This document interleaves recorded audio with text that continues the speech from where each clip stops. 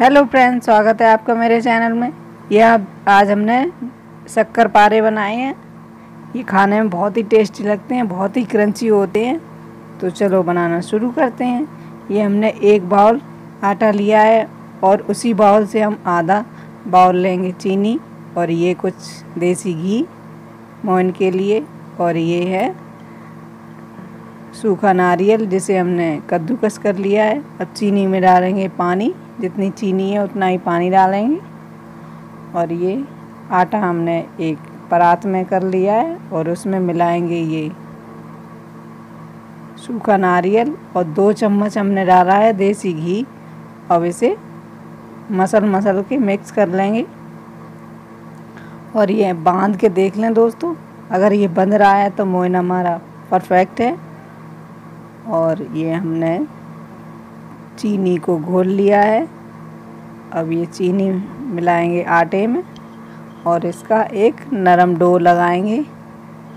दोस्तों, नरम डो लगाना है, सख्त नहीं, ये बाद में सख्त हो जाता है और आपका उसी पानी में डो लग के तैयार हो जाएगा। अगर अब ये देख लें, पंद्रह मिनट रेस्ट के लिए रखा है। अब देख लें, अगर आपका डो टाइट है तो इसे पानी लगा के सॉफ्ट कर लें।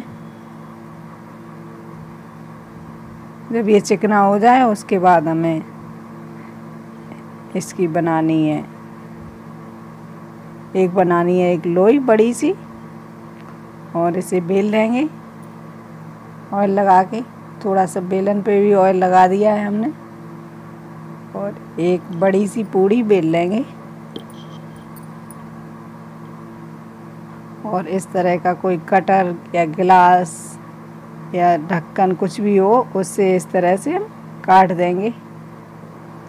ये गोल डिज़ाइन बनाई है हमने दोस्तों। हमने चार डिज़ाइनें बनाई हैं। आपको जो पसंद हो, उसमें से कोई भी बना सकते हैं। और इस तरह से हमने कट कर लिए हैं और थाली में रख दिए हैं। अब दूसरी डिज़ाइन काटेंगे।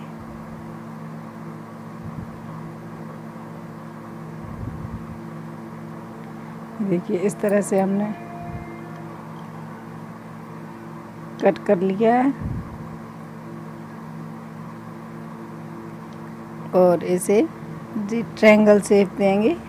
इस तरह से आप चाकू से भी काट सकते हैं। अगर पिज़्ज़ा कटर हो आपका, आपके पास तो उससे भी काट सकते हैं।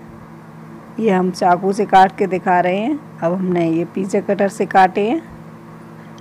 इस तरह से सभी काट लेने हैं हमें।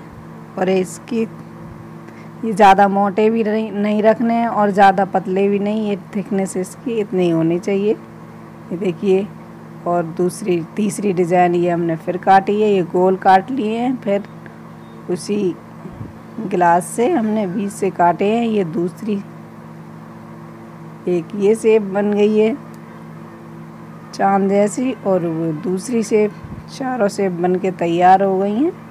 आप जिस भी शेप में बनाना चाहें, उसमें बना सकते हैं। और ये हमने गैस पे रखी है कढ़ाई और मीडियम फ्लेम पे दोस्तों, इन्हें सभी को सेक लेंगे। हाई फ्लेम पे नहीं सेकना है, नहीं तो ये कच्चे रह जाएँगे, अंदर से और ऊपर से सिक जाएँगे। इसे लो मीडियम फ्लेम पे ही सेकना है दोस्तों। और खा, बहुत ही क्रंची लगते हैं। खाने में तो बहुत ही टेस्टी लगते हैं और इसके बहुत ज़्यादा क्रंची होते हैं।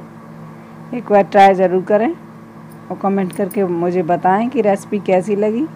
अगर वीडियो पसंद आए तो लाइक करें और मेरे चैनल को सब्सक्राइब करें। साथ में बेल आइकन प्रेस करें, जिससे मेरे वीडियो की नोटिफिकेशन आपके पास सबसे पहले पहुँच सके।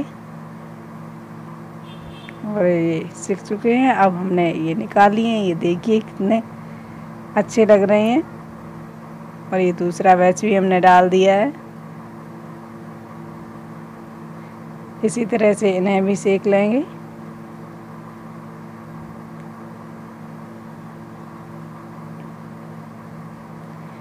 दोस्तों, ये फूल के आ जाते हैं, ये देखिए, और फिर इन्हें पलट देंगे।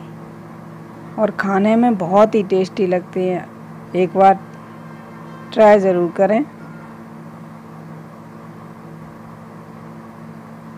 और इस तरह से हम सभी सेक लेंगे।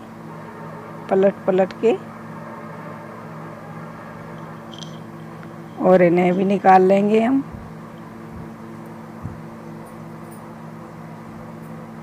ये देखिए कितने अच्छे लग रहे हैं।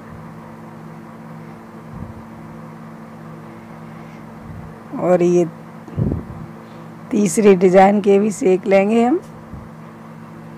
और ये भी हमारे सिक्के तैयार हैं। इन्हें भी निकाल लेंगे। और अब रह गई है हमारी चौथी डिज़ाइन।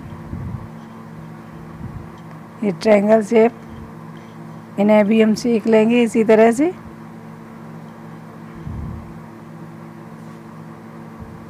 देखिए इस तरह से हमने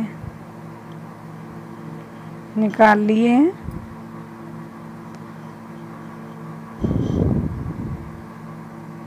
और इसी तरह से हम सभी सीख लिए हमने।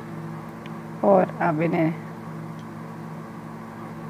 देखिए कितने अच्छे लग रहे हैं।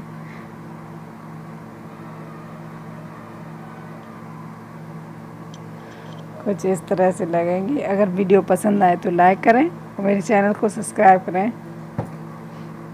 और कमेंट करके मुझे बताएँ। और मिलते हैं अगली वीडियो में, तब तक के लिए बाय बाय